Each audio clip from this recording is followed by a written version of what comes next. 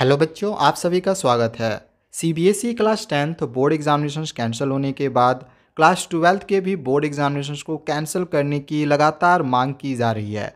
जिस तरह से क्लास टेंथ बोर्ड एग्जामिनेशंस को कैंसिल करने को लेके लगातार ट्रेंडिंग में चल रहा था कि टेंथ बोर्ड एग्जामिनेशंस को कैंसिल कर दिया जाना चाहिए, अब इसी तरह से ट्विटर पर क्लास ट्वेल्थ बोर्ड एग्जामिनेशंस को कैंसिल करने की मांग की जा रही है और ये लगातार ट्रेंडिंग में चल रहा है। यानी कि hashtag cancel twelfth board exam 2021 ये लगातार अभी ट्रेंडिंग में चल रहा है। यानी कि एक मिलियन से भी ज़्यादा ट्वीट्स अभी किए जा चुके हैं और हम उम्मीद कर रहे हैं कि जिस तरह से क्लास टेंथ बोर्ड एग्जामिनेशन को कैंसिल किया गया था, बिल्कुल इसी तरह से क्लास ट्वेल्थ बोर्ड एग्जामिनेशन भी जल्द ही कैंसल्स हो सकते हैं।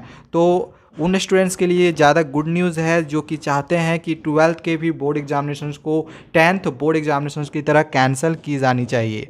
और ट्वेल्थ की भी मार्कशीट बिल्कुल टेंथ की ही तरह से निकाली जानी चाहिए। उनको भी इंटरनल असेसमेंट यानी कि जो भी प्री बोर्ड एग्जामिनेशन हुए हैं यूनिट टेस्ट हुए हैं मिड टर्म एग्जामिनेशन हुए हैं तो उसके आधार पर ट्वेल्थ के भी जो है नंबर मिल जाने चाहिए। और ट्वेल्थ में तो प्रैक्टिकल एग्जामिनेशन भी होता है तो वो भी उसमें शामिल होगा।